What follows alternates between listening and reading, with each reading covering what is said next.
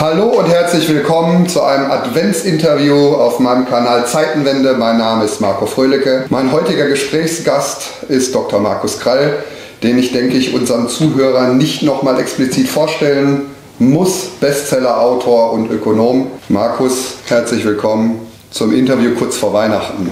Grüß dich, Marco. Ja, es ist äh, es weihnachtet schon richtig. Ne? Es weihnachtet schon richtig in unserem Herzen. Die äh, Gemengelage aus der Berichterstattung äh, versucht einen noch mal ein bisschen mit der Schwerkraft nach unten zu befördern, aber wir sind frohen Mutes. Äh, nichtsdestotrotz, vielleicht ganz kurz, um die aktuellen Themen aufzubringen. Die Ampelregierung hat äh, gerade Einigung erzielt in ihrer Haushaltsdebatte. Das bedeutet, trotz Rekordsteuereinnahmen in den letzten Jahren äh, weiterhin Steuererhöhungen, jetzt CO2, Plastikverwendung und so weiter. Was konkret bedeuten die weiteren Steuererhöhungen für den industriellen Mittelstand und für die deutsche Mittelschicht? Ja, also zunächst mal betätigt sich diese Regierung, wie soll ich sagen, als Weihnachtsgrinch. Ja, anders kann man das noch kaum auffassen. Ja, nach der Wiese äh, Robert, ich verderbe euch euer Weihnachten Habeck ja, und äh, Scholz und was da sonst noch äh, ähm, hier im Lande das Sagen hat, äh, betätigen sich ja im Grunde genommen ja als Abwrackregierung. Anders kann man es nicht mehr sagen. Wir haben, du hast es gerade schon korrekt gesagt, höchst, also höchste Steuereinnahmen, Rekordsteuereinnahmen, ja, die höchsten ever. Trotzdem reicht es dieser gierigen politischen Klasse nicht, ja, um, ihre, um ihre Verschwendungssucht zu befriedigen. Ja. Äh, sie haben natürlich äh, die Steuern erhöht. Äh, was hätten sie auch sonst tun sollen, angesichts ihres Unwillens, irgendwo den Rotstift anzusetzen? Ähm, weder wurde er angesetzt bei den Leistungen von in Höhe von 55 Milliarden für abgelehnte Asylbewerber, noch wurde er angesetzt beim Friseur des Kanzlers, der also, wie ich neulich gelesen habe, alleine irgendwie irgendwie 100 äh, Euro am Tag oder so braucht für seinen Friseur. Ich frage mich, wo sind die Haare, die er da äh, pflegen lässt? Aber vielleicht geht es auch gar nicht um die Kopfbehaarung. Ich weiß es nicht. Ja, äh, man spart auch nicht am Visagisten der Außenministerin. Man spart nicht an dem Stilberater der derselbigen Person. Ja, also all das ist also das sind heilige Ausgaben. Ja, die werden wir nicht anfassen. Stattdessen gehen wir also her und belasten den Bürger und die Industrie mit einer riesigen also das kann man sich sagen, riesigen Steuerung, einer der größten Steuererhöhungen in der Geschichte der Bundesrepublik Deutschland. Und er findet gleich noch eine neue Steuer, eine Plastiksteuer. Ja, das ist äh, die lange Liste der äh, Steuern und der Steuerverwaltung äh, wird noch länger. Ähm, wir äh, belasten alle, die ja, dieses Land zusammenhalten, indem wir vor allen Dingen die Energiepreise erhöhen. Und die Folgen werden klar sein. Die Folgen sind ganz äh, simpel. Mitten in der Rezession, und wir haben eine Rezession, ähm, mitten in der Rezession die Steuern zu erhöhen, bedeutet, dass die Rezession massiv tiefer wird. Ähm, damit wird man nicht das erreichen, was man erreichen wollte, denn die Vertiefung der Rezession und die schnellere Schrumpfung der Wirtschaft wird die Steuerbasis erodieren. Und zwar nicht nur für die Steuern, die man gerade erhöht hat, sondern für alle Steuerarten im Wesentlichen. Das heißt also, die Verluste an Steueraufkommen, äh, die werden wahrscheinlich den größten Teil dieser jetzt erhofften Steuermehreinnahmen auffressen. Aber das ist etwas, was den Verstand dieser Regierung äh, leicht übersteigt. Das Zweite ist, dass äh, wir hier einen massiven inflationären Schub zu erwarten haben. Die Verteuerung der Energie, die Erhöhung der Mehrwertsteuer, das alles geht ein in die Teuerungsstatistik, also in, den, in die Inflationsrate, in die gemessene Inflationsrate. Das allerdings wird einen interessanten Schubstangeneffekt auslösen. Und zwar deswegen, weil diese gemessene Inflationsrate reflektiert ja gar nicht die tatsächlich innere Inflation, äh, weil sie gar nicht auf ähm, Marktmechanismen von Angebot und Nachfrage äh, basiert, die dann auf breiter Front die Preise erhöhen, obwohl diese Erhöhung der Preise auf breiter Front passieren wird durch die Mehrwertsteuererhöhungen und durch die Energiesteuererhöhungen, äh, die sich natürlich dann auch durch die ganze Produktionskette Kette durch fortpflanzen. Aber in Wahrheit haben wir ja schon deflationäre Tendenzen. Wir haben ja in den letzten Monaten gesehen, die Inflation ist stark rückläufig. Nicht allein deswegen, weil die Zinspolitik der EZB wirkt, das tut sie in einem gewissen Umfang auch, sondern vor allen Dingen, weil die Zinspolitik der EZB die Blasen angestochen hat, wie auch der FED die Blasen angestochen hat. Diese Blasen sind gewaltig, die schrumpfen jetzt mit hohem Tempo und das lässt die ganze Lage von der Inflation in die Deflation kippen. Ein Tierchen, das nicht weniger gefährlich ist als die Hochinflation. Die Tatsache, dass wir aber jetzt durch die Steuererhöhungen die gemessene Inflation für einige Monate deutlich höher sehen werden, als sie eigentlich wäre, ohne das, wird dazu führen, dass die EZB glaubt, dass die Inflation höher ist und dass die inflationären Kräfte stärker noch wirken, als das tatsächlich der Fall ist. Und das wird sie davon abhalten, die Zinsen schneller zu senken. Und damit werden die Blasen stärker deflationieren und die Rettungsorgie, die dann notwendig sein wird, wird größer sein. Die Krise wird tiefer werden und damit natürlich auch die ganzen Steuerausfälle, die dann unvermeidlich sind. Die Notlage, die die Regierung herbeifantasiert und herbeihalluziniert, die wird sie mit dieser Politik selbst schaffen. Das heißt, dass Thema, was wir gerade erleben, jetzt noch mit der Erhöhung der CO2-Abgaben und so weiter, wird ein weiterer Sargnagel sein für die produzierende, energieintensive Industrie und den Abwanderungstrend weiter beschleunigen, deiner Ansicht nach? Beides ganz sicher. Äh, es kann in diesem Land energieintensiv nicht mehr wettbewerbsfähig produziert werden, in anderen Ländern aber sehr wohl. Äh, dort macht man auch schlechte und falsche Politik, aber bei weitem nicht so schlecht und falsch wie die deutsche. Und deswegen werden äh, die Industrien dahin gehen, wo Energie noch erschwinglich und kostengünstig ist, ähm, ins europäische Ausland, in die USA, äh, aber auch äh, nach Übersee, in andere Länder. Das heißt also, wir werden hier eine stärkere Abwanderungstendenz sehen. Wir werden eine massive Erhöhung der Inputkosten für die übrigen Industrien sehen, denn die energieintensiven Industrien sind ja ein, ein quasi ein Ausgangspunkt der Lieferkette für andere Industrien. Ja, also dort werden ja Kunststoffe produziert, dort werden Teile produziert, dort werden Zulieferteile für Automobilindustrie produziert, für Maschinenbau, äh, für Flugzeugbau, für alles, was kompliziert ist. Ja, ähm, und dementsprechend wird sich das in andere Industrien übersetzen. Und das führt natürlich auch dazu, dass die Zulieferindustrien hier im Land für die energieintensiven Industrien und für die Abnehmer der energieintensiven Industrien auch einen Nachfrageeinbruch erleben werden. Und das kann nicht so ohne weiteres substituiert werden. Mittelfristig können die sich anders orientieren, können dann im Ausland sich neue Kunden suchen, aber kurzfristig wird das nicht möglich sein. Das heißt, auch das wird nochmal zu strukturellen Anpassungsproblemen führen. Wir werden also nicht nur eine Schrumpfung der energieintensiven Industrien sehen, sondern auch eine Schrumpfung des Dienstleistungssektors. Und zwar auf zwei Fronten. Erstens der gesamte Dienstleistungssektor, der als Zulieferer agiert für die Industrie. Das gilt insbesondere für den Software- und IT-Bereich. Und zweitens die gesamten Dienstleister, die wiederum selbst energieintensiv sind und die man sich ja jetzt gezielt zu sagen noch als Opfer rausgesucht hat, nämlich die ganze Gastronomie. Ja, also der Gastrobereich äh, wird im Grunde genommen um eine Preiserhöhung von 10 bis 20 Prozent nicht herumkommen. Das ist für viele nicht mehr erschwinglich und das bedeutet, dass der Gastrobereich äh, wahrscheinlich in die größte Pleiten- und Schließungswelle eintritt, die es je gegeben hat in der Bundesrepublik. Jetzt könnte man ja zynischerweise sagen, die Abwanderung von energieintensiven Betrieben passt dann zur Tragfähigkeit unseres Energiesystems äh, in Deutschland. Ähm, wenn wir die Frage nochmal aufwerfen, es äh, gibt viele Menschen, die stellen es in Frage, dass wir überhaupt äh, gefeit sind, durch einen harten Winter zu kommen mit, mit der Energiepolitik, die wir betreiben. Müssen wir damit rechnen, deiner Meinung nach, dass der Strom auch mal eines Tages rationiert wird für Industriebetriebe? Auch für die Privathaushalte. Wie schätzt du das ein? Das wird ja schon vorbereitet. Man baut jetzt allerorten diese sogenannten Smart Meter ein. Die dienen nichts anderem als dem Zweck, die Energieversorgung, wie es so schön euphemistisch heißt, zu dimmen bei Bedarf. Ja, das heißt, dann wird das Licht halt weniger hell, dann flackert das, dann werden wir das hier erleben in der Energieversorgung der Privathaushalte, was Entwicklungsländer früher mal, heute ja nicht mehr, aber früher mal als tägliches äh, Ding erlebt haben. Ja, das heißt also das Abstellen der Energieversorgung, stundenweise abstellen oder mehrstündige abstellen. Irgendwann mündet es darin, dass es nur noch zu bestimmten Tageszeiten überhaupt Energie gibt, wenn man diese Politik dann äh, an ihr konsequentes Ende führt. Äh, wie das aussieht, kann man aktuell zum Beispiel in Südafrika begutachten. Mhm. ein Land, das ähm, noch vor 30 Jahren energetisch Selbstversorger war, bei dem es äh, nie zu Stromausfällen gekommen ist, also praktisch nie zu Stromausfällen gekommen ist. Ähm, das ist jetzt so dort, dass in weiten Teilen des Landes nur noch zu bestimmten Uhrzeiten, äh, die den Leuten vorher angekündigt werden, überhaupt Strom aus der Steckdose kommt. Und zu anderen Uhrzeiten eben nicht.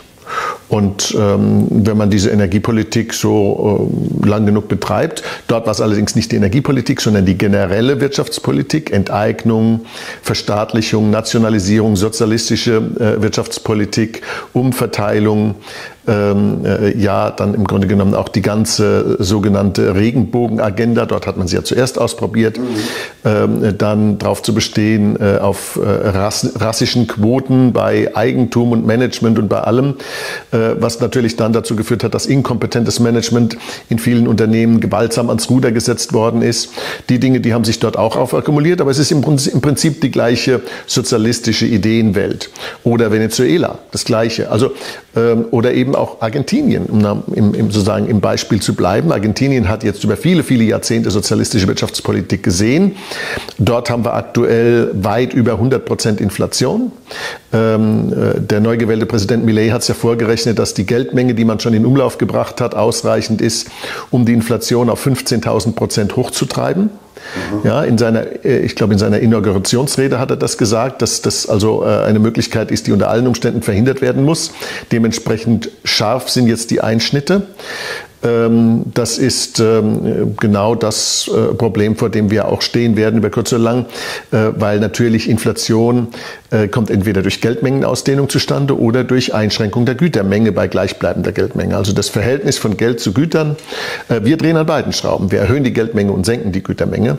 Ähm, das muss man auch erstmal schaffen. Glaubst du denn, dass die aktuelle Bundesregierung jetzt in dieser schweren Gemengelage, also man darf mal unterstellen, da gibt es auch ein paar kluge Köpfe im Beraterstäben, die das eigentlich blicken müssten, vielleicht äh, wieder von dem Atomausstieg abkehrt, um ähm, hier zumindest die Tragfähigkeit unserer Systeme am Laufen zu halten, den Strom wieder günstiger zu machen für die Industrie und für die Privathaushalte. Ist damit zu rechnen aus deiner Sicht? Also damit ist aus mehreren Gründen nicht zu rechnen. Erstens äh, glaube ich nicht an die Hypothese, dass in den Beraterstäben noch Menschen mit gesundem Menschenverstand sitzen. Und zwar deswegen, weil man die Beraterstäbe von diesen Personen gereinigt hat. Ja, man hat im Grunde genommen ja seine grün-rot-links inspirierten Ideologen überall hingesetzt. Äh, wenn man sich auch zum Teil anschaut, mit welchem Personal sich ähm, unsere Ministerialen da umgeben. Also da ist der Greichen-Clan im Wirtschafts- und sogenannten Klimaministerium ja nur eine Sache. Das Gleiche haben wir überall in allen Ministerien, hat man Leute auf Staatssekretärs- und, und hohe Beamtenpositionen gehieft, nicht nach Qualifikation, sondern nach Parteibuch. Ähm, man hat im Grunde genommen der, der, der Korruption fröhlich Urständ gefeiert. Ja, also anders, das ist ein reiner Nepotismus, eine Vetternwirtschaft, ja, ähm, wie man in England früher gesagt hat, Jobs for the boys and the girls also. Ja. Ähm, und äh, das ist, ähm, äh, da, da, da kommt keine Rettung her aus diesem Bereich. Ja. Da gibt es vielleicht noch einige Versprengte, aber die werden sich nicht trauen, den Mund aufzumachen aus Angst, dass sie auch ausgetauscht werden. Also aus der Verwaltung wird da nichts kommen. Die einzigen, die im Moment noch der Bundesregierung sagen, äh, dass sie Unsinn macht, das ist die Opposition, die man verächtlich macht, verfolgt und mit seltsamen äh, äh ja, äh, linksfaschistoiden Methoden versucht, mundtot zu machen und überhaupt äh, aus, der, aus der Existenz zu komplimentieren. Und einige wenige ausländische Staatsmänner, die es ihr auf internationalen Konferenzen sagen wie zum Beispiel Herr Orban oder andere. Und die Lernfähigkeit und der Lernwille dieser Bundesregierung, den würde ich mal mit Null ansetzen. Also das ist offensichtlich nicht der Fall, ähm, wenn man sich auch anschaut, äh, dass also ein Herr Lindner äh, und ein Herr Buschmann, also FDP-Mitglieder dieser Bundesregierung, mit welchen hanebüchenden Argumenten die diesen wirklich Todesstoß für die deutsche Wirtschaft verteidigen, den sie da also gemeinsam mit ihren äh, äh, sozialistischen und, und grünen äh, Koalitionspartnern beschlossen haben. Da kann ich nur sagen, die FDP wird für dieses Verbrechen an der deutschen Wirtschaft zu Recht aus der Existenz heraus komplimentiert werden. Ich wäre überrascht, wenn die FDP bei den nächsten Wahlen drei Prozent erreicht. Ja, die Stimmungslage ähm die du beschreibst, passt ja auch zu den Zustimmungswerten der aktuellen Regierungspolitiker. Die finden, befinden sich ja auf historischen Tiefständen. Es gab noch nie eine Regierung, die bei den Menschen in Deutschland so unbeliebt war wie diese.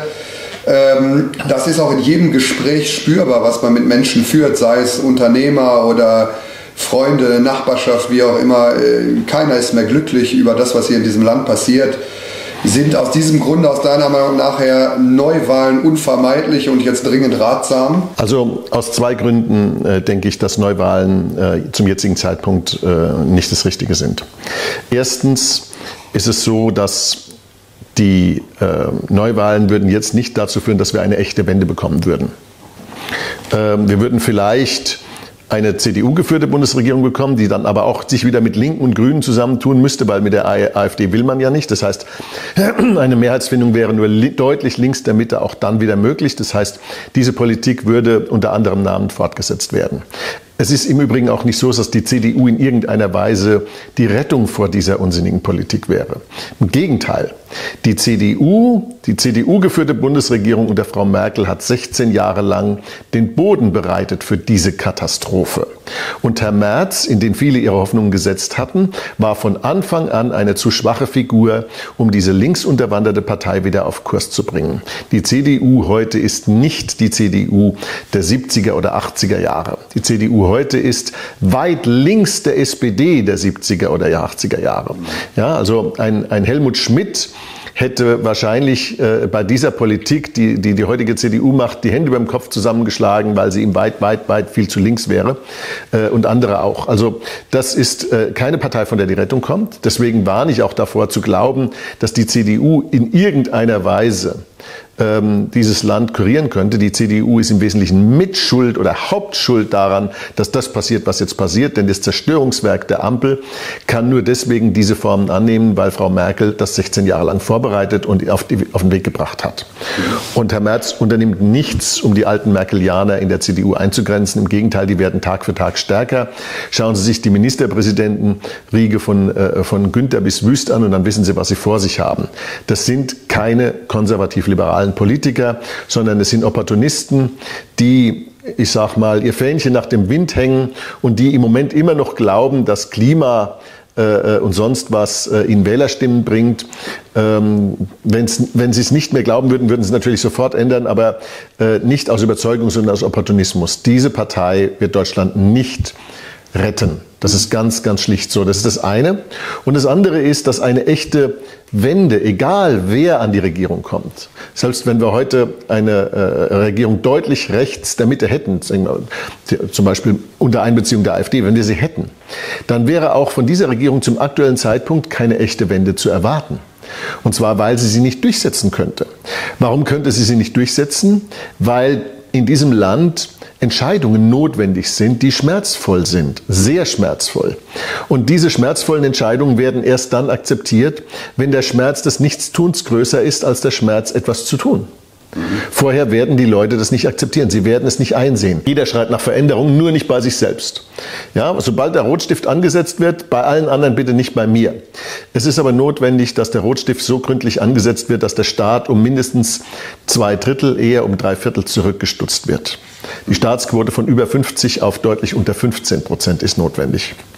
Und diese Reform, die kann erst stattfinden, wenn der Schmerz der falschen Politik groß genug ist. Deswegen sage ich, lasst die schön ihre Legislaturperiode noch 20 ähm, Monate weitermachen, dann erst wird der Schmerz so groß sein, dass die Leute nicht nur bereit sind, eine echte Reformregierung ins Amt zu wählen, sondern ihr auch zu gestatten, die notwendigen Maßnahmen zu treffen. Also die viel viel besprochene Katharsis werden wir durchlaufen müssen. Eine andere Lösung siehst du aktuell nicht. Nein. Anderes Thema ist ähm, da vielleicht Teil des perfekten Sturms. Die Bankenlandschaft. Ich habe das jetzt rausgehört aus verschiedensten Gesprächen mit Bankern, die ich im äh, privaten und beruflichen Umfeld geführt habe, dass es da doch an der einen oder anderen Stelle doch Sorge gibt über eine erneute äh, Finanz- und Bankenkrise möglicherweise. Äh, wie beurteilst du das Thema der Belastbarkeit der deutschen und europäischen Banken, gerade jetzt mal im Hinblick auf die Zinsentwicklung, die wir gesehen haben, die Anleihekurse äh, und auch das Eigenkapital? Und welche Folgen hätten gewisse Szenarien? Also schauen wir uns an, was haben die Banken in ihren Büchern stehen. Die Banken haben einmal Anleihen in ihren Büchern, nicht zu knapp. Diese Anleihen haben, haben einen Verlust erwirtschaftet in den letzten zwei Jahren durch die Zinserhöhungen von weltweit über 20 Billionen Dollar. Und etwa ein Viertel davon dürfte auf die Banken entfallen sein. Die Banken in der westlichen Welt haben aber keine 5 Billionen Dollar Eigenkapital vorher gehabt, sondern nur dreieinhalb. Das heißt, grosso modo sind die Verluste aus den Anleihen höher als das Eigenkapital der Banken der westlichen Welt. Das heißt, sie haben keine Risikotragfähigkeit mehr. Sie können jetzt diese Anleihen nur noch halten bis zur Fälligkeit. Wenn sie das nicht tun, müssen sie sie abschreiben. Äh, wobei auch das Halten bis zur Fälligkeit bei Nichtabschreibung eigentlich Bilanzbetrug ist. Aber man winkt es durch, weil man die Folgen fürchtet, wenn man es anders macht. Man fürchtet die Folgen und diese äh, Sache hat dann, führt jetzt dazu, dass die größte Assetklasse auf der Welt, nämlich die Anleihen, illiquide geworden ist.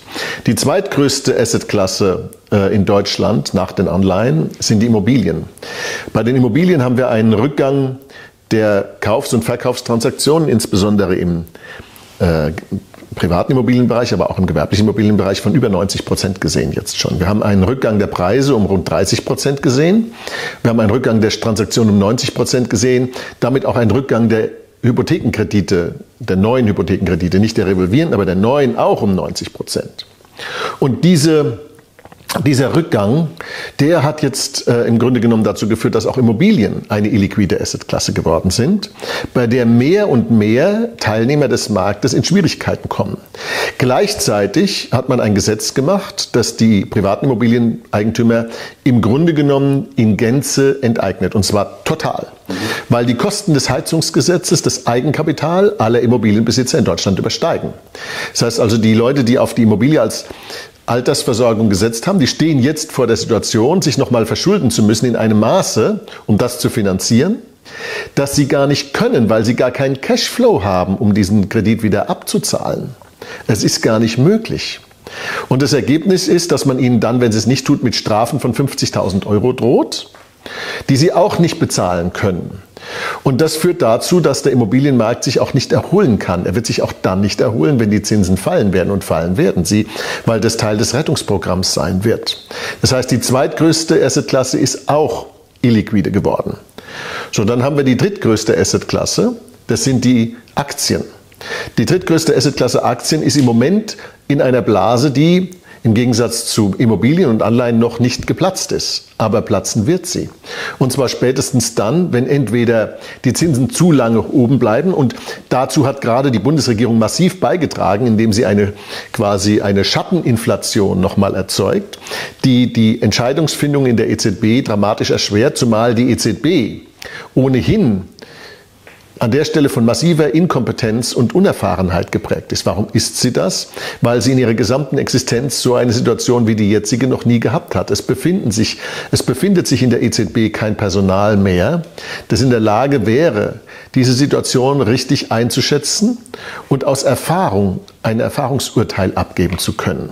Alles, was die EZB dazu macht, ist mit Modellen zu arbeiten, die nachweislich falsch sind, die nachweislich untauglich sind, die Realität abzubilden, nämlich die Modelle der Modern Monetary Theory, die schon in der, nicht in der Lage waren, die Inflation vorauszusehen oder das Verhalten der Inflation vorauszusehen, die auch jetzt nicht die richtigen Signale geben, weil diese Modelle spiegeln der EZB vor, dass der Inflationsrückgang Ergebnis der Zinserhöhungen der dadurch zurückgehenden Nachfrage sei, wo es in Wahrheit das Ergebnis Ergebnis platzender Blasen ist. Das heißt also, die Fähigkeit der EZB damit umzugehen ist gering und dementsprechend äh, können wir davon ausgehen, dass hier die falschen Entscheidungen fallen werden. Das heißt, das wäre ja das Szenario, was du beschreibst, ein deflationärer Schock auf allen Ebenen. Ähm, wenn jetzt natürlich die Geldmengenausweitung wieder kommt durch die Zentralbanken, was sie ja als Krisenantwort häufig als die Ultima Ratio ansahen in der ja. Vergangenheit, müsste das doch eigentlich wieder, zumindest zum Beispiel jetzt mal die Aktienmärkte nehmen, eigentlich nochmal dann beflügeln, oder? Ja, das ist, äh, damit ist zu rechnen. Die Aktienmärkte sind auch deswegen im Moment so stark, weil die Märkte ja einen Rückgang der Zinsen erwarten. Die Märkte sehen ja ganz klar, dass die platzenden Blasen die EZB und die FED unter Druck setzen. Und das ist der Grund, warum sie sagen, da müssten Aktien gut performen, weil die Zinssenkung um die Ecke ist. Ähm, die Bundesregierung hat aber eben dadurch, dass sie quasi eine künstliche Inflation nochmal nachgeschoben hat, dafür gesorgt, dass der Handlungsspielraum für Zinssenkungen zunächst mal kleiner wird, als er normalerweise wäre. Und das Zweite ist, dass das eine Sache ist, die in sich aufschaukelnden Zyklen verläuft. Das heißt also, wir haben jetzt erstmal eine Inflationskrise gehabt, dann haben wir massiv die Zinsen erhöht, die, platzen, die platzenden Blasen waren das Ergebnis, jetzt stürzen wir auf die andere Seite der Rasierklinge in die Deflation, dann wie du gerade völlig zu Recht gesagt hast, kommt die nächste Rettung. Wie sieht die aus? Zinsen runter, und zwar massiv, wahrscheinlich wieder auf Null. Und Liquiditätsflutung in die Märkte, Kapital an die Banken, billiges Geld an die Banken äh, und möglicherweise auch eine massive Rekapitalisierung von Banken, die ja erforderlich sein wird, nämlich dann, wenn die Zinsen zu lange oben bleiben und die Zombies dann ins Kippen kommen, was sie ja jetzt schon zum großen Teil tun. Wir sehen ja im Moment massive Pleiten. Wir sehen sie vor allen Dingen in den, in den Bereichen der Wirtschaft, wo der Leverage zu hoch ist, also wo die Verschuldungsgrade zu hoch sind. Wir haben jetzt gerade die Signa-Pleite gesehen. Ähm, in einigen deutschen Großstädten sieht man also jetzt gewaltige Bauruinen, weil Signa pleite ist. Das wird noch interessant zu, äh, zu sehen, wie das da weitergeht. Ob sich da jemand findet, aus diesen Bauruinen noch mal was zu machen oder ob die jahrelang ein Loch in die Innenstädte jetzt quasi, quasi gepflanzt haben. Das wird dann dazu führen, dass wir äh, eine entsprechend starke Überreaktion auf der monetären Seite wieder sehen, eine Ausdehnung der Geldmenge. Ich habe es ja in meinen Vorträgen in den letzten Monaten gesagt, dass das kommen wird, nämlich in Höhe wahrscheinlich von vier bis acht Billionen Euro allein in Europa und nochmal das gleiche in Amerika. Damit verdoppeln wir aller Voraussicht nach nochmal die Zentralbankgeldmenge und damit werden wir zum nächsten Aufgalopp der Inflation kommen. Das heißt, die Zyklen werden größer, die Ausschläge werden größer. Mit jedem, mit jeder Handlung, den die EZB macht, wird der Ausschlag größer. Denn natürlich würde eine der nächste Inflationsaufgalopp bei solchen Geldmengen nicht bei 10 Prozent halt machen, sondern bei 20 oder 30. Ja? Steht denn zum Beispiel die USA im Vergleich zu Europa oder Deutschland jetzt besser da aus deiner Sicht? Die haben, glaube ich, auch jetzt das Problem, dass einige Banken äh, in die Verlustzone mhm. äh, geraten sind. Gleichzeitig haben sie aber sehr günstige Energiepreise, locken produzierende Unternehmen ja. an. Wie siehst du die USA jetzt im Vergleich zu Deutschland und Europa? Ähm, die USA haben im Moment noch einen Vorteil. Äh, der Vorteil kommt aus der Standortpolitik, aus der günstigen Energie und das spielt man auch ganz bewusst. Man hat ja auch letzten Endes die Sprengung der Nordsee, äh, äh der Ostsee-Pipeline äh, äh, geopolitisch äh, genau aus dem Grunde, ja, wie soll ich sagen, begrüßt in den USA, mindestens begrüßt, ja, wenn man nicht sogar involviert gewesen sein könnte, ja. Und ähm, das hat ja die Energiekrise in Europa, insbesondere in Deutschland, verschärft und damit auch die Abwanderung energieintensiver Industrien in die USA beschleunigt. Das heißt, das ist eine ganz egoistische äh, Politik äh, betrieben mit den, mit den Mitteln des Krieges. Ja? Also äh, eine Pipeline wegzusprengen ist ja nun nicht irgendwie was. Ja? Und ähm, äh, selbst wenn man äh, sagen, die Ukraine vorgeschickt hat, äh, man hat es auf jeden Fall begrüßt, wobei ich bezweifle, dass man die Ukraine vorgeschickt hat nach den Worten von Präsident Biden oder von dem, was auch der neue polnische Außenminister Sikorski damals nach der Sprengung der Pipelines gepostet hat auf Twitter, nämlich Thank you America oder so ähnlich hat er es, glaube ich, formuliert. Ja? Also ähm, das ist äh, der Vorteil der USA, die billige Energie. Äh, der Nachteil der USA ist zugleich einer ihrer noch bestehenden Vorteile, nämlich die Leitwährungsfunktion. Mhm. Die Leitwährungsfunktion ermöglicht es den USA, flexibler zu sein in ihrer Geldpolitik, weil sie einen Großteil der Kosten auf die internationale Gemeinschaft überwälzen kann. Aber wir wissen aus den Ideen und Vorschlägen, die aus der BRICS kommen, mhm. ähm, dass diese Leitwährungsfunktion schwer unter Beschuss ist. Und das kann jeden Tag so weit sein, dass die BRICS sagen, jetzt steht unsere Infrastruktur und jetzt ziehen wir hier die Reißleine und wir wollen in Zukunft für unsere Überschüsse mit Gold bezahlt werden. Wenn das passiert, dann ist die Leitwährungsfunktion des Dollar perdu und dann kehrt sich dieser Vorteil in einen Nachteil um. Ähm, dann ist allerdings schwer vorauszusehen, wie die internationalen Kapitalmärkte damit umgehen. Mhm. Wie siehst du das Thema der Zentralbank Digitalwährung der äh, CBDCs, die ja schon weitgehend äh, diskutiert worden. Viele befürchten ja, dass es der Wegbereiter ist in ein Social Scoring System ähm, des Wohlgefallens nach chinesischem Vorbild. Glaubst du A, dass es kommt? Glaubst du B, dass man es überhaupt vernünftig umsetzen kann? Weil wir erleben ja auch, dass vieles, was man umsetzen will, eigentlich nur sehr amateurhaft und stümperhaft passiert. Ähm, gleichzeitig glaubst du, dass die Menschen so ein System überhaupt akzeptieren würden? Wie ist deine, deine Meinung zu dem Thema? Also, ähm, da stecken jetzt viele Fragen in einer. Äh, ich glaube, dass die Zentralbanken mit Hochdruck daran arbeiten, aber ich glaube, dass die Zentralbanken zu inkompetent sind, um es fertigzustellen, bevor sie mit ihrer Weisheit ohnehin am Ende sind. Mhm. Insofern habe ich die Hoffnung, die begründete Hoffnung, dass es nicht kommt. Das heißt aber nicht, dass es die Sicherheit sei, dass es nicht kommt, weil natürlich umso schlechter es ihnen geht, umso mehr Ressourcen werden sie an dieses Thema dran schmeißen, weil sie es für ihren Heldennotausgang halten. Und äh, natürlich ist damit verbunden die Idee, das Bargeld abzuschaffen und ein chinesisches Social Scoring Programm zu machen. Das wird bei uns anders heißen, das wird bei uns CO2-Konto heißen. Und dann wird man es schrittweise ergänzen mit äh, Gendersprache, Vokismus, äh, Flagge vor die Tür hängen, ja, äh, Deutschland noch mehr beflaggen. Ja, Deutschland ist beflaggt wie seit 1936 nicht mehr, ja. Und ähm, das ist eine, äh, ein, ein, ein, ein Wohlverhaltens, äh, äh, sag mal, eine Wohlverhaltensrating, ein Wohlverhaltensrating, was da geplant ist, ist schon sehr nach chinesischem Muster. Mhm. Ähm, und ESG ist im Grunde genommen der Vorläufer dessen. Und zwar deswegen, weil ESG heute schon ein chinesisches Social Scoring ist. Nichts anderes als das. Und jetzt schon in die Kreditwürdigkeit der Unternehmen bei den Bankratings einfließt. Ja, und ähm, das trickelt dann von oben herunter. Das heißt also, erst sind die Unternehmen dran, dann sind die Manager dran. Natürlich, die sind sozusagen verantwortlich für die Unternehmen. Das heißt, die werden dann als Nächste abgestraft und von dort aus geht's in die erste, zweite und dritte Führungsschicht der Unternehmen, bis es ganz unten bei dem Bürger ankommt. So wird man das sich äh, wahrscheinlich vorstellen zu machen. Ja? Und man äh, redet jetzt auch gleichzeitig über eine generelle elektronische ID für jeden Bürger in Europa. Ähm, damit äh, jetzt verknüpfen wir mal elektronische ID mit elektronischem Zentralbankgeld, CO2-Konto, ESG und dem Willen, auf jeden Fall die Machtfrage, die gestellt wird, zu überleben. Und dann wissen wir, was rauskommt. Ja, stimmt, sehe ich auch so. Ist an uns Menschen dann zu sagen, Stopp bis hierhin und nicht weiter? Also äh, ganz klar, ich fordere jeden auf, die Annahme dieses Geldes zu verweigern. Mhm. Kommen wir jetzt zu deiner unternehmerischen Tätigkeit. Du hast jetzt auf verschiedensten Vorträgen es auch publik gemacht, auch auf deinen Social-Media-Kanälen und, und angekündigt, dass das Startup äh, kurz vor Go Live steht sozusagen, Gold Revolution.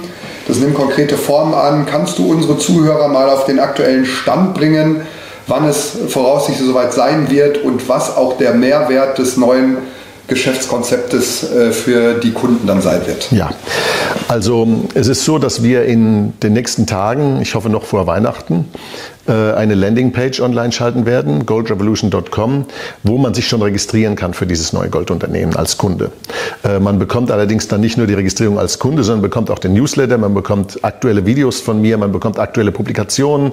Einige Dinge werden dort auch exklusiv sein und zwar kostenlos natürlich. Man wird auch dort mein neues Buch Die Stunde Null bestellen können. Wer es dort bestellt, bekommt es gleich signiert. Ja, ähm, das heißt also, es wird eine Reihe von Informationsdienstleistungen geben, äh, die's, ähm, die ich auch in früherer Tätigkeit als Goldmanager schon gefördert habe, aber das ist jetzt ein verwaister Bereich, weil ähm, ähm, man sieht ja nicht überall Gold als politisches Produkt. Ich sehe aber Gold sehr wohl als politisches Produkt und zwar deswegen, weil es vor der Übergriffigkeit der Politik schützt. Nichts anderes ist der Hauptauftrag des Goldes, ist der Schutz der Menschen vor der Übergriffigkeit der Politik und damit ist es ein politisches Produkt. Punkt. Punkt. Und wer das nicht versteht, der hat Gold als Produkt nicht verstanden. So, das wird also, dort wird es viele Informationen geben, dort wird es äh, auch Early Warning Indikatoren geben, es wird Chart Services geben äh, mit, äh, über Edelmetalle, aber auch über äh, volkswirtschaftliche äh, Trends und Entwicklungen, die damit zusammenhängen. Es wird regelmäßige Updates von mir dort geben, äh, per Video oder durch kurze Artikel etc. Und es wird dann stufenweise ein Spektrum von Dienstleistungen eingeführt, das den Namen Gold Revolution auch verdient hat.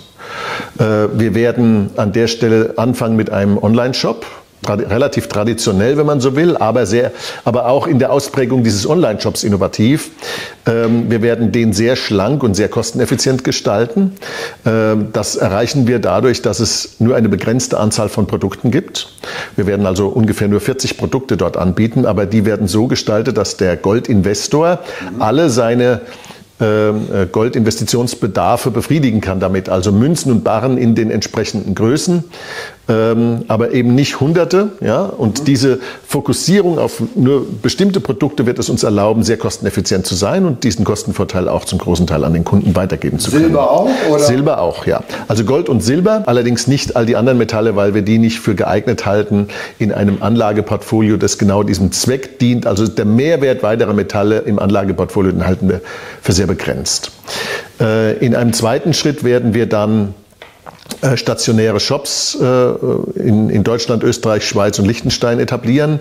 Ähm, da gibt es ein hochinnovatives Shop-Konzept. Äh, das sind sehr kleine, kompakte Shops, auch wieder hochkostengünstig mit nur einem Zehntel der Investitionen, die, die vergleichbare Wettbewerber für ihre Shops ausgeben.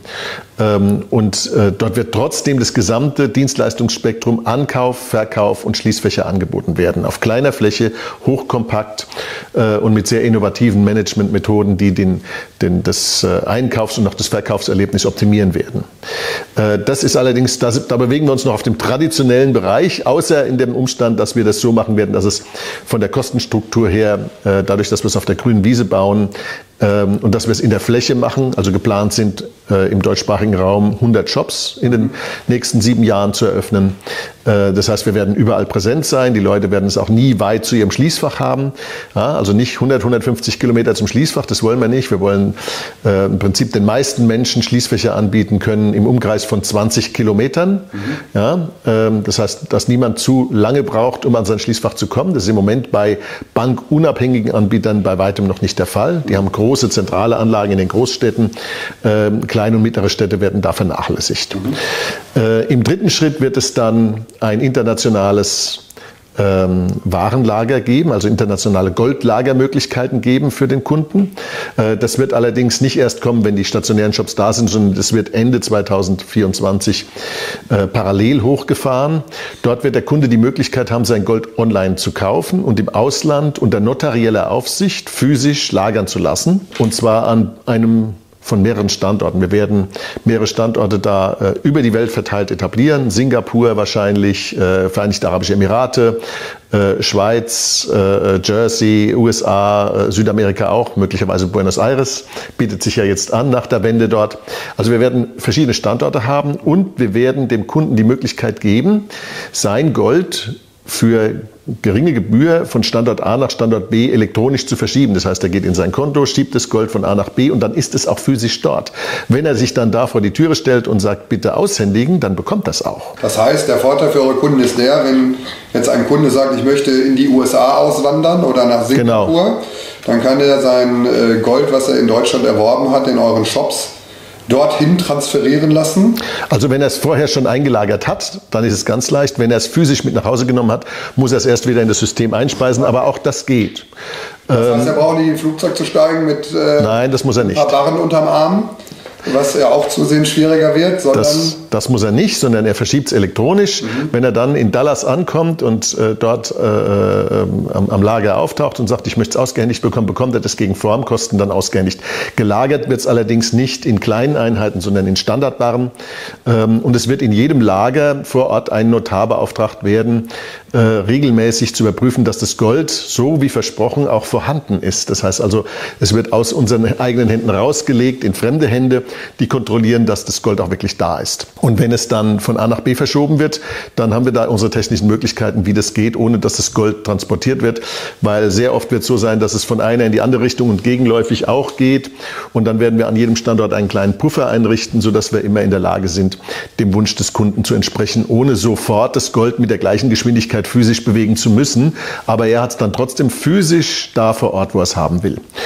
Und ähm, dieses werden wir dann durch Kooperation mit äh, anderen Kooperationspartnern auch dahingehend noch erweitern, dass er dieses Goldkonto, dieses internationale Goldkonto, wenn man so will, auch zum Zahlen mit seiner Kreditkarte oder PayPal oder Apple Pay etc. In, in der Zukunft benutzen können wird. Das heißt, er hat dann seinen Goldvorrat nicht nur weltweit mobil, sondern er hat ihn auch noch hundertprozentig liquide und kann ihn zum Bezahlen benutzen. Und ihr seid dann ja so eine Art Seismograph. Ihr erkennt wahrscheinlich sehr früh, wohin fließen die äh, Gold- und Silberreserven unserer Kunden? Äh, was sind die Hotspots für freiheitsliebende Menschen? Das ist natürlich auch ein spannender Nebeneffekt. Wir werden da ein interessantes äh, Markterlebnis kreieren, wenn man so will. Und wir werden den Leuten auch die Möglichkeit geben, sozusagen direkt zu tauschen. Das heißt also, wir werden einerseits anbieten, gegen Gebühr es zu transportieren quasi umzubuchen auf unser Risiko. Oder wir werden den Kunden auch anbieten, gegen eine geringere Gebühr es zu swappen. Das heißt, Kunden können dann auf einem Marktplatz sagen, ich habe hier Gold in Buenos Aires, das möchte ich nach Singapur transportieren. Ist jemand da, der es umgekehrt machen möchte? Und können also quasi auf dem Marktplatz das anbieten und sich dann gegenseitig äh, an der Stelle äh, kostengünstiger helfen, als wir das tun könnten. Ähm, warum können wir das? Äh, weil natürlich dadurch auch gewisse Teile des Risikos aus unserem Buch rausgenommen werden. Und damit kann man das dann auch kostengünstiger anbieten. Also es wird verschiedene Formen geben, wie der Kunde sich da optimieren kann. Und das gesamte Bündel wird so sein, dass er erstens das Gold physisch jederzeit verfügbar hat, wo er es haben will, auch bei sich zu Hause. Er kann es sich aushändigen lassen. Er kann es auf der Welt mobil überall hin transportieren und es damit vor der fiskalischen Gier besser schützen, als wenn er es einfach nur zu Hause unter das Kopfkissen legt. Äh, er kann es zum Zahlen benutzen und damit hat er es liquide. Es ist ein Bündel von Dienstleistungen, das es so auf der Welt noch nicht gibt und deswegen haben wir das ganze Projekt auch Gold Revolution getauft. Gleichzeitig hattest du angekündigt, wir hatten ja das Video veröffentlicht auf unserem Kanal, darum gehe ich in die Politik, dass du in die Politik gehen wirst, beziehungsweise dich politisch engagieren wirst. Jetzt ähm, gibt es ja viele ähm, Gerüchte darum, man sieht es jetzt auch schon in einigen Videos, es fällt dein Name das häufig, häufiger, dann von Hans-Georg Maaßen natürlich auch und die Werteunion wird genannt in diesem Zusammenhang. Ähm, das, da scheint ziemlich viel zu passieren hinter den Kulissen. Kannst du uns aufklären, wie da der Stand ist und wo wir da aktuell stehen? Also das meiste, was ich aufklären kann, habe ich ja schon gesagt oder gepostet äh, oder äh, auf einer äh, auf einem Hintergrundgespräch für die Hauptstadtpresse neulich in Berlin äh, äh, kundgetan. Es ist so, dass ähm, wir an einer Parteineugründung arbeiten. Nicht ich alleine, sondern wir sind ein größeres Team. So viel kann ich bestätigen. Da bin ich nur einer von mehreren. Ich bin zwar der Erste, der sich geoutet hat und gesagt, ich mache da jetzt was, aber ähm, ich bin weder der dickste Fisch im Teich noch der wichtigste, ja, sondern ich beteilige mich daran und unterstütze das und ähm, werde da auch eine gewisse Rolle annehmen, wenngleich ich da keine Funktionärsrolle einzunehmen gedenke vor den Bundestagswahlen 2025. Und zwar deswegen, weil ich äh, den größten Teil meiner Aufmerksamkeit jetzt erstmal auf mein Unternehmen zu richten habe. Ähm, ich werde aber ähm, Teil dieses Teams sein. Ich werde meinen Namen zur Verfügung stellen. Ich werde auch meine Expertise im wirtschaftlichen Bereich zur Verfügung stellen. Und ich werde natürlich wesentlich beeinflussen, wie das Wirtschaftsprogramm aussieht, denn sonst brauche ich mich daran nicht zu beteiligen. Mhm. Das heißt, das Wirtschaftsprogramm wird ganz klar libertär sein. Es wird auf Minimalstaat hinauslaufen. Es wird auf massive Einsparungen und ein deutliches Zurückdrängen des Einflusses des Staates und der Politik in das Leben der Menschen in diesem Land äh, hinauslaufen. Und zwar ähm, richtig so, wie man das jetzt aus Argentinien auch sieht, mit der Kettensäge. Also das äh, ist ganz klar. Die Kettensäge könnte unser Parteiemblem sein. Und ähm, da sind noch andere dran beteiligt. Da gibt es jetzt viele, viele Namen, die durch die Gegend schwirren, die ich noch nicht, die ich weder bestätigen noch dementieren kann, weil einfach auch jeder für sich da, äh, also ich sollte nicht vorwegnehmen, was einzelne Personen für sich entscheiden, wann sie mit ihren Entscheidungen an die Öffentlichkeit gehen. Das ist, äh, glaube ich, nicht statthaft. Mhm.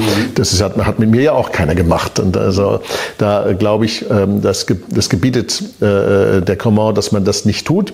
Aber ähm, dieses Team nimmt Gestalt an, Stück für Stück, und wir werden Ende Januar, der genaue Termin steht noch nicht fest, aber irgendwas mit einer 2 davor, ähm, werden wir eine Pressekonferenz abhalten, wo wir quasi da das lüften werden. Und ich denke, wir werden ab Weihnachten zwischen den Jahren wissen, wann genau der Termin sein wird. Und dann wird es einen Countdown geben. Mhm. Ja, und äh, dann werden wir damit an die Öffentlichkeit gehen und ähm, äh, da kann das Publikum mal davon ausgehen, dass wir hier erstens mit einem super Team anrücken, mit Leuten, die Erfahrung haben in allen wesentlichen Bereichen äh, der Politik, der Wirtschaft, des Gesellschaftslebens, äh, von Energie über Verteidigung bis Familie. Das, diese ganzen Themen werden wir mit höchst qualifizierten Personen die auch einen Ruf da haben und einen Namen da haben und nicht irgendwie äh, ähm, vorher mal Kinderbücher geschrieben haben, ja, äh, werden wir das abdecken. Und äh, gefälschte Lebensläufe kann ich auch ausschließen. Ja? Äh, das, ist, das überlassen wir mal schön den Grünen, ihre Lebensläufe zu fälschen. Und ähm, das wird also ein sehr gutes Team sein. Dieses Team wird sich dann vorstellen und wird dann der Presse zu, für Fragen auch zur Verfügung stehen. Und dann gehen wir an die Arbeit. Und wir werden in den Landtagswahlen vor allen Dingen in Sachsen und Thüringen antreten. Ähm, ich gehe davon aus, dass bis zum Herbst nächsten Jahres das Zerstörungswerk der Ampel oder einer oder ihrer Nachfolgeregierung, wenn also es aus, sie aus Altparteien besteht, so weitergehen wird, dass die Wut der Menschen so groß sein wird, dass wir in diesen beiden Bundesländern da schon die Wende bewerkstelligen und dass wir äh, bei den allfälligen Bundestagswahlen ähm, stark genug werden, um mit an der Regierung beteiligt zu werden. Und es wird keine Linksregierung sein. So viel kann ich schon sagen. Das heißt, wenn ich jetzt richtig verstehe, dann äh, wirst du dich einbringen, konzeptionell.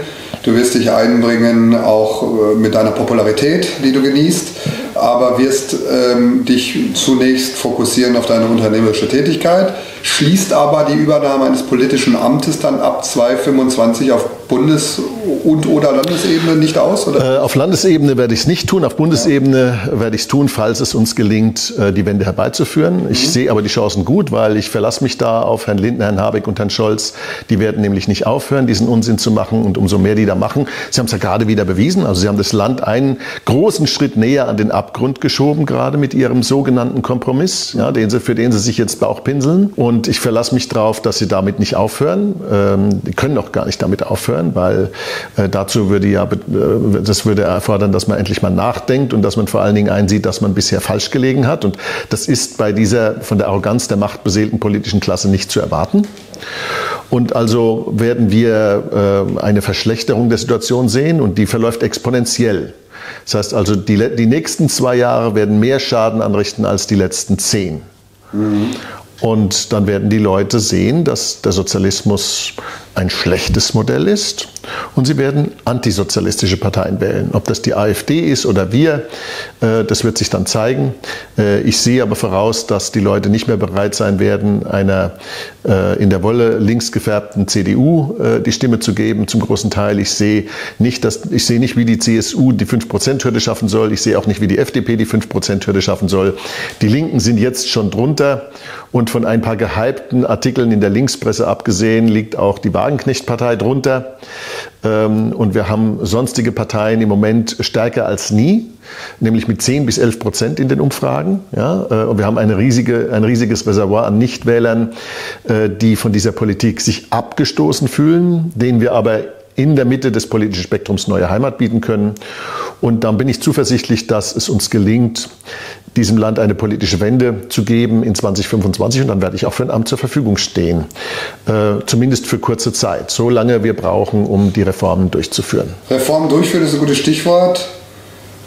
Wenn wir jetzt mal davon ausgehen, dass die bestehende Regierung bis 2025 weitermacht und sie ändert nicht radikal ihre Vorgehensweise, dann wird die deutsche Industrie strukturell stark erodiert sein. Was muss da notwendigerweise dann getan werden? Was macht dich optimistisch, dann wieder die Trendumkehr zu schaffen? Wir stehen vielleicht dann vor der Situation, dass wirklich sehr, sehr viele Mittelständler äh, ausgewandert sind mhm. mit ihren Produktionsstätten, ja. die verlagert haben. Es wird vielleicht der Fall sein, dass einige Unternehmen in die Insolvenz abgerutscht sind. Ja. Die Lage auf dem Arbeitsmarkt könnte sich äh, im Vergleich zu heute ähm, auch nochmal dramatisch verändern. Wir haben ja zugegebenermaßen heute noch nicht diesen riesen Impact auf den Arbeitsmarkt, muss man ja sagen, weil mhm. werden Leute gesucht äh, überall. Äh, was macht dich optimistisch, dass es wieder dann in eine andere Richtung gehen kann? Und was sind die größten Stellhebel, die dann einfach mal in Bewegung gesetzt werden müssten, um das zu erreichen? Also zunächst ist es so, dass viele Unternehmen abwandern werden und es wird sich beschleunigen. Wir haben das ja jetzt auch schon. Und du glaubst, die kriegt man wieder zurück? Ich glaube, dass man die zurückbekommt und zwar, wenn man nur radikal genug reformiert. Äh, es ist völlig klar, dass wir ein Modell sein müssen, wo jeder sagt, da muss ich jetzt sein. Mhm. Weniger darf es nicht sein. Also wenn wir, wenn wir ein, ein so ein Mittelwegmodell, so wir ein bisschen hier, ein bisschen schrauben, da ein bisschen schrauben, so wird es nicht funktionieren. Das langt wahrscheinlich nicht, um die Leute wieder vor allen Dingen, Vereinigten Staaten oder sonst wo zurückzuholen. Also der, das, das Gefälle, das Attraktivitätsgefälle muss enorm sein, um die Leute zurückzuholen. Und es muss das Vertrauen da sein, dass die nächste Regierung das nicht wieder alles zurückdrehen kann. Und ähm, da sage ich mal, äh, da habe ich jetzt eine Menge von den Grünen gelernt, wie man Politik so gestaltet, dass man es der Nachfolgeregierung schwer macht, das zurückzudrehen. Beim Atomausstieg haben wir ja gesehen, wie, wie sie also sogar äh, gerade stillgelegte Atomkraftwerke dann technisch sabotieren, mhm. damit man sie ja nicht mehr in Betrieb nehmen vornehmen kann, ähm, das ist ein interessantes Modell.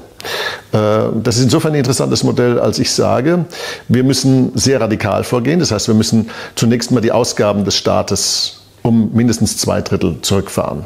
Das setzt voraus, dass wir auch zwei Drittel oder drei Viertel aller Ministerien schließen, dass wir die gesamten daran hängenden Bundesbehörden schließen, dass wir die gesamten Bundesbeauftragten abschaffen. Die brauchen wir alle nicht. Also da finde ich keinen, wo ich sage, den brauchen wir. Nicht einen. Ja, ähm, das bedeutet, dass wir äh, beim Bundeshaushalt äh, runterkommen von etwa, drei, von etwa 470 Milliarden auf etwa 130 Milliarden pro Jahr.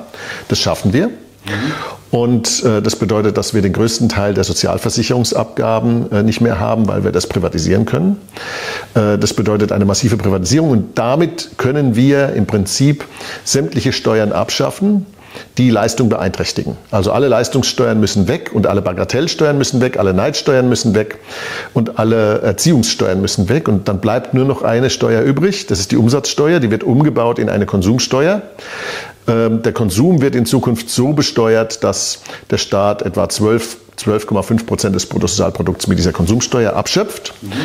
Alles andere wird nicht mehr besteuert. Keine Einkommenssteuer, keine Gewerbesteuer, keine Körperschaftssteuer, kein Solidaritätszuschlag, keine Kirchensteuer, auch natürlich keine Tabaksteuer, keine Mineralölsteuer, keine CO2-Steuer, keine Plastiksteuer, keine Schaumweinsteuer. Schaumweinsteuer auch nicht mehr. Äh, Schaumweinsteuer auch nicht mehr. Es sei denn, irgendwer will die kaiserliche Flotte zurückhaben. Das sehe ich aber nicht. Ja? Denn dafür wurde sie mal aufgelegt, um die kaiserliche Flotte zu finanzieren. Jetzt liegt die seit, ich glaube, 100 Jahren oder so, über 100 Jahren auf dem Meeresgrund.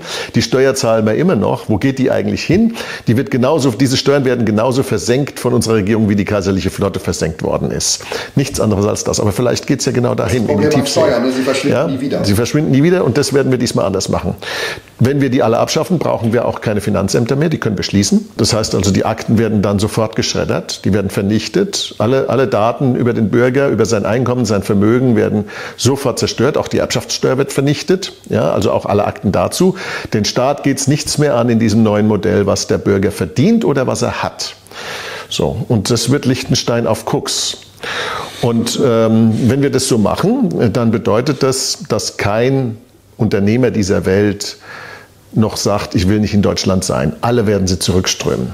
Das klingt nach paradiesischen Verhältnissen für strebsame, fleißige Menschen. Äh, gleichzeitig jetzt aber nochmal danach gefragt, das bedeutet ja, ihr werdet ja nicht eine absolute Mehrheit haben und könnt diese Dinge durchpeitschen, ihr werdet in irgendeiner irgendwie so gearteten äh, konservativen Koalition euch aufhalten. Glaubst du denn nicht, dass diese Schritte, wie du sie gerade formuliert hast, dann, die sind ja radikal, wobei radikal ja nichts negativ behaftet ist, mhm. das ist ja an der Wurzel packend sozusagen. Ja. Äh, glaubst du, dass diese Schritte, diese Vorgehensweise in dieser Radikalität, wie du sie beschreibst, die sicherlich einen riesen Effekt hätte auf, die, auf, den, äh, auf den Standort Deutschland, glaubst du, die sind durchsetzbar? Zunächst mal gibt es natürlich eine Menge Leute, denen das wehtun wird. Die Verkleinerung des Staatsapparates setzt natürlich voraus, dass wir auch die dort beschäftigten Menschen freisetzen, zum großen Teil. Ähm, aber ich sehe nicht, dass die lange arbeitslos bleiben. Denn im Gegensatz zu vielen anderen sind die ja immerhin einigermaßen ausgebildet. Ja. Ähm, jemand, der sich mit Steuern befasst, der kann auch Controlling, mhm. Äh, der kann auch Finanzierung, der kann eine Menge. Also die Leute, die, die, die in den Finanzämtern zum Beispiel gearbeitet haben, die sind flexibel genug ausgebildet, um auch was anderes zu machen, als Steuern einzutreiben. Mhm. Äh, rechnen können die auch. Ja, ja? Absolut. Und ähm, diese Leute werden in einem Land, in das unvorstellbare Mengen Kapital plötzlich hineinströmen durch die neue Gestaltung, extrem schnell Arbeit finden, die besser bezahlt ist als das, was sie bisher gemacht haben. Bis eins, zwei Jahre rum sind, werden die froh sein, dass sie nicht mehr in der Amtsstube sitzen, sondern es wird eine Befreiung für die sein. Es wird eine Befreiung für die Menschen sein. Plötzlich dürfen die wieder kreativ sein. Ja, der ganze Druck, dieses ganze Vorschriftenhubern, das alles weg. Wir sind doch in einem Land, wo Menschen, die etwas produzieren wollen, das nicht tun können, ohne die Erlaubnis von Menschen zu bekommen, die noch nie was produziert haben. Und das stellen wir ab. Und auch die Menschen, die in diesem bürokratischen System durch eigene Schuld oder durch fremde Schuld gefangen sind, die werden auch befreit. Wir befreien die Menschen aus ihrer selbstverschuldeten Unmündigkeit. Und es wird ihnen materiell auch denen, die zunächst mal ihren Job im Staat verlieren, nach kurzer Zeit sehr viel besser gehen. Es wird eine riesige Nachfrage nach Arbeitskräften da sein, die gar nicht erfüllt werden kann bei so viel Kapital, was da reinströmt. Denn wenn wir tatsächlich die direkten Steuern auf Null setzen, dann bedeutet das, dass wir der attraktivste Standort auf dem Planeten sind. Definitiv. Und dann wird auf dieser Welt jeder sich aufmachen und sagen, das muss ich mir ansehen. Und ich bin sicher, dass es ein, das ist das Modell, wo wir tatsächlich Vorbild sein können. Nicht dieser Klimamüll, mit dem uns die Grünen zum Vorbild für die Welt machen wollen und uns nur lächerlich machen auf dem Planeten. Nein, dieses Modell ist das Modell, das funktioniert ökonomisch und deswegen wird es Vorbild sein. Und dann werden viele das auch nachmachen, aber sie werden es erst Jahre später nachmachen, nachdem wir demonstriert haben, wie gut das ökonomisch läuft. Das ist wahre Nachhaltigkeit. Und das bedeutet, dass wir zwei Bedingungen haben müssen. Die eine ist, wir müssen natürlich gemeinsam mit einem Koalitionspartner die Mehrheit erreichen. Da bin ich zuversichtlich, dass wir das schaffen. Und zwar deswegen, weil die Katastrophe, die diese Regierung produziert, einfach groß genug sein wird, um solche Mehrheiten zu erreichen. Und es bedeutet zweitens, dass wir dann in den Koalitionsverhandlungen das durchsetzen können. Und da gibt es verschiedene Komponenten. Es ist ja so, dass ähm, zum Beispiel auch eine AfD, auch ihre Zielvorstellungen hat. Und jetzt gibt es Teile der AfD, die glauben sehr viel fester an den Staat, als ich das je getan hätte.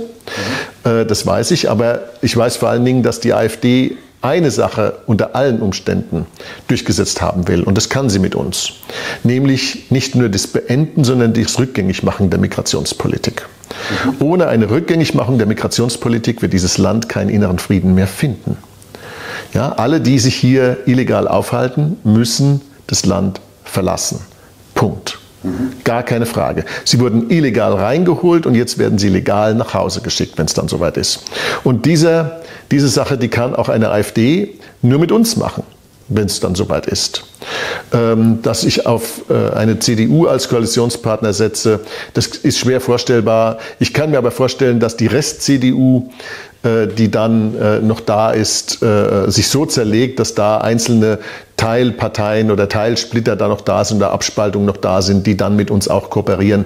Das wird sich dann zeigen. Diese äh, Maßnahmen, die du beschrieben hast, also jetzt mal rein ökonomischer Natur und die die wirtschaftlichen Anreize dann bilden, äh, um wieder Industrie anzusiedeln und, und Arbeitsplätze und Wohlstand zu schaffen, die sind wahrscheinlich ja nicht äh, von jetzt auf gleich realisierbar? Wird es dann einen Mehrstufen, also braucht es einen Mehrstufenplan? Über welchen Zeithorizont erachtest du es als realistisch, von der Zeitschiene her gesehen, äh, solche Maßnahmen erfolgreich zu implementieren? Was wir nicht in den ersten vier Wochen machen, kriegen wir nicht mehr hin. Also von 0 auf 100? Von 0 auf 100 und zwar sofort und alles.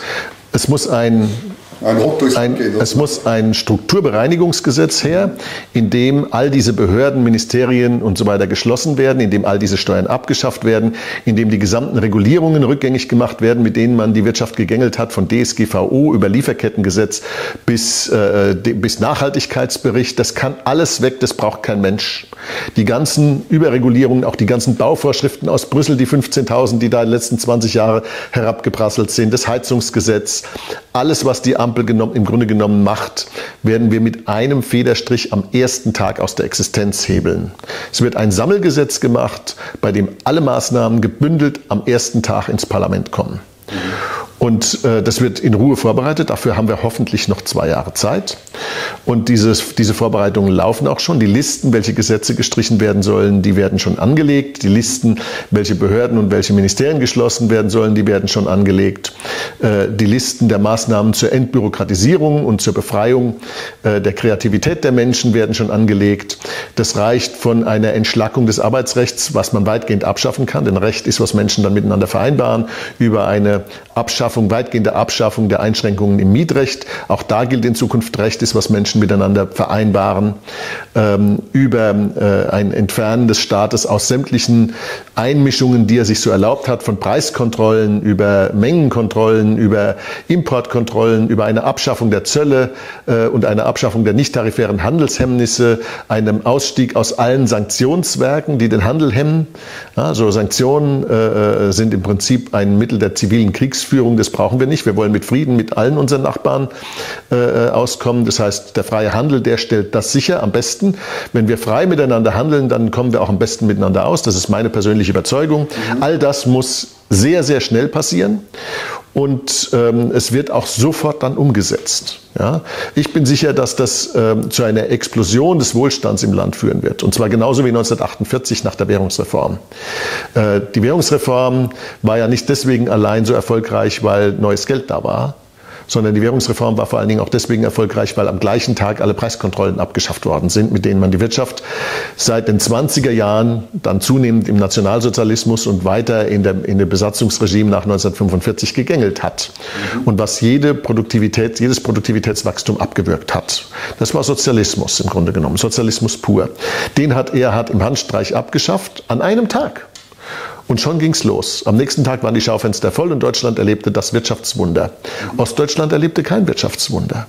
Deswegen ist es auch falsch zu denken, dass es der Nachhol Nachholbedarf nach dem Krieg gewesen wäre, der das ermöglicht hätte. Nein, es ist die Entfaltung der Marktwirtschaft, die Entfaltung freier Preisbildung, die Entfaltung der freien Kreativität der Menschen, des Unternehmertums. Nur der Unternehmer schafft Werte, der Staat schafft gar nichts. Der Staat schafft nur Wohlstand ab. Jetzt äh, ist das ja ein äh, Programm, was wahrscheinlich äh, wie äh, Musik in den Ohren freiheitsliebender Menschen klingt. Mhm. Jetzt gibt es aber auch Menschen, die fühlen sich sehr, sehr wohl in ihrer äh, Behördenstube. Mhm. Ja? Das, äh, da ist so eine gewisse Sicherheit, die einem da umgibt. Ja, man kann, es kann nichts passieren, egal ob ich gut leiste, schlecht leiste, mhm. mhm. wie auch immer. Das man ist ganz gut abgesichert über eine Pension, die es anschließend gibt. Mhm. Glaubst du denn, ähm, du kannst alle Menschen anstecken und abholen mit dieser Vision? Oder was machen wir mit den Leuten, die sich da äh, gar nicht die gar nicht der Freiheit zugewendet sind. Also alle Menschen Unfreiheit lieber fahren wollen, aber dafür in Sicherheit. Also alle Menschen abholen, damit wird nicht gelingen. Es mhm. wird immer welche geben, die dagegen sind. Es gibt ja auch genug Linke.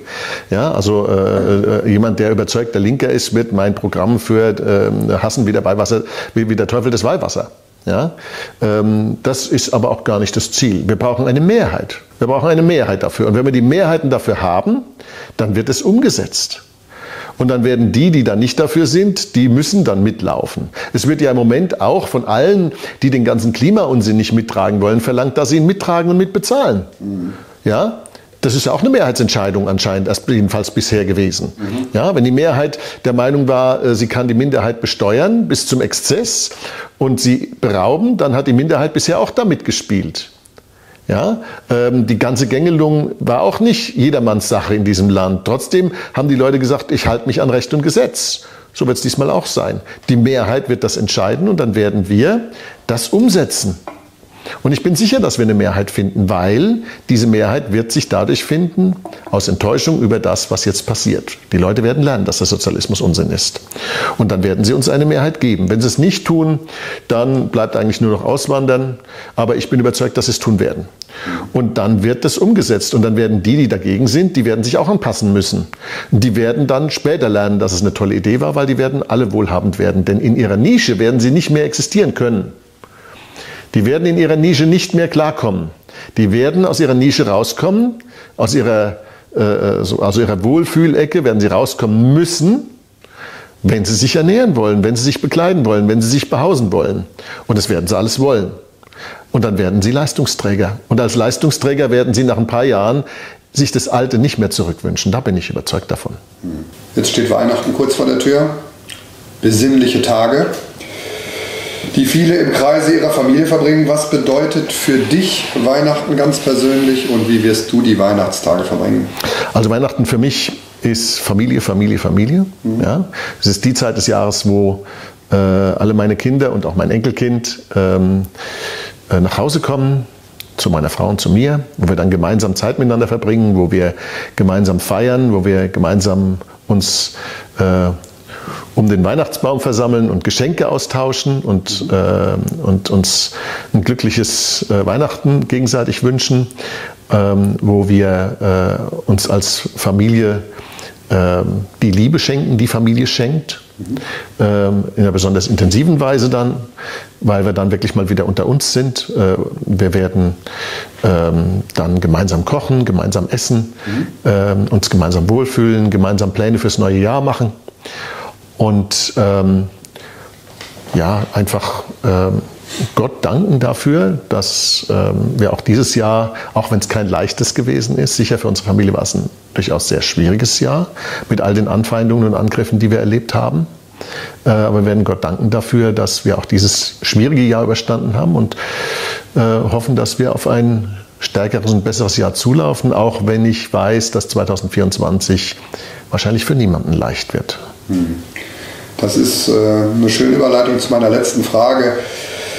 Was möchtest du all den Zuhörern sagen, ähm, die vielleicht jetzt gerade ähm, in der aktuellen Situation den Mut, den, die Hoffnung und den Glauben daran verlieren, dass äh, in diesem Land für sich, für sich selbst oder für ihre Kinder oder, oder Enkelkinder äh, die Zukunft noch lebenswert ist? Was sagst du all diesen Menschen? Ich kann verstehen, dass angesichts des Wahnsinns unserer Politik und den hat ja, wie wir eingangs dieses Gesprächs gesehen haben, die Ampel ja jetzt aufs Neue zelebriert, diesen Wahnsinn, äh, in einer Überheblichkeit, die kaum noch zu betreffen ist. Dass angesichts dieses Wahnsinns die Menschen verzweifeln und sagen, dieses Land fährt vor die Wand und es ist nicht mehr zu retten. Aber die Wahrheit ist, dass dieses Land gerettet werden kann. Mhm. Noch jedenfalls kann es gerettet werden. Und die Wahrheit ist auch, dass es immer in der Nacht vor Sonnenaufgang am dunkelsten ist. It's always darkest before dawn, sagen die Engländer. Mhm. Vor Sonnenaufgang ist es am dunkelsten. Und so auch in dieser Sache.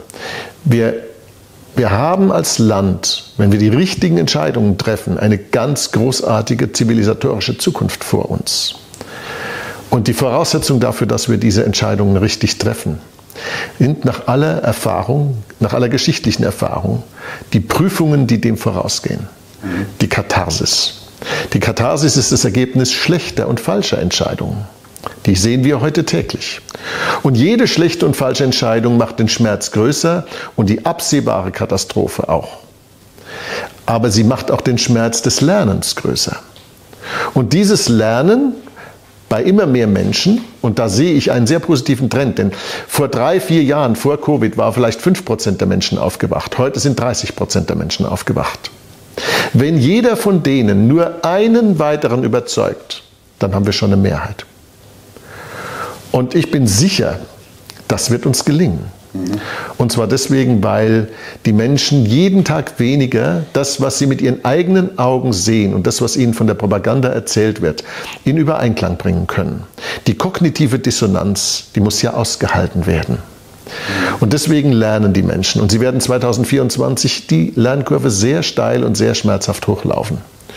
Und weil das aber so ist, werden wir auch in der Lage sein, dieses Land zu reformieren, weil die Menschen es wollen werden. Und wenn wir das tun, dann können wir einen Prozess in Gang setzen, der uns zu ganz neuen Höhen führt. Warum ist das so? Die Marktwirtschaft ist im Grunde genommen ein ewiger Prozess von Versuch und Irrtum, von Suchen nach der besten Lösung, von Suchen nach neuen produktiven Methoden, nach neuen Produktmöglichkeiten, nach neuen Bedürfnissen der Menschen. Und weil das so ist, dass schlechte Ideen von der Marktwirtschaft aussortiert werden und gute Ideen aufblühen, bedeutet das, dass die Marktwirtschaft nichts anderes ist als eine gigantische Maschine auf der Suche nach Wahrheit. Die Wahrheit aber ist die Grundlage einer blühenden Zivilisation. Und umso mehr Wahrheit wir finden, umso größer wird unser zivilisatorischer Fortschritt. Also müssen wir nur genug Marktwirtschaft haben, um das alles zu bewerkstelligen. Das gilt übrigens nicht nur für Kauf und Verkauf von Gütern, das gilt für alles andere auch. Das gilt für Kunst, Kultur, Philosophie, Musik, Architektur, Wissenschaft, für alles. Dort überall, wo der Wettbewerb herrscht und regiert, wird mehr Wahrheit produziert, als wo das nicht der Fall ist. Im Gegenteil, wo das nicht der Fall ist, wird die Lüge produziert. Also wird uns die Freiheit und die Marktwirtschaft mehr Wahrheit finden lassen und damit werden wir uns zu zivilisatorischen Höhen aufschwingen, von denen wir noch keine Ahnung haben. Und das ist das, was wir als Vision in dieses sehr, sehr schwere Jahr 2024 mit reinnehmen können. Wir können uns zu Höhen aufschwingen wie Engel auf Flügeln, wenn wir der Wahrheit dienen. Und die Wahrheit wird gefunden durch harte Arbeit und Wettbewerb und Freiheit und nicht durch Gängelung und Bürokratie und Bevormundung. Fantastisch. Also besteht Hoffnung auf eine glorreiche Zukunft. So ist es. Danke für dieses Interview. Ich wünsche dir, Markus, und deiner Familie, genauso wie unseren Zuhörern, ein frohes und gesegnetes Weihnachtsfest und einen guten Start ins neue Jahr. Das wünsche ich Ihnen auch. Gesegnete Weihnachten, Geruhsamkeit, Stille, Nachdenken, Überlegen und Zuversicht. Und dann werden Sie Prüfungen 2024 bestehen. Wunderbar. Vielen Dank für dieses Interview. Gerne.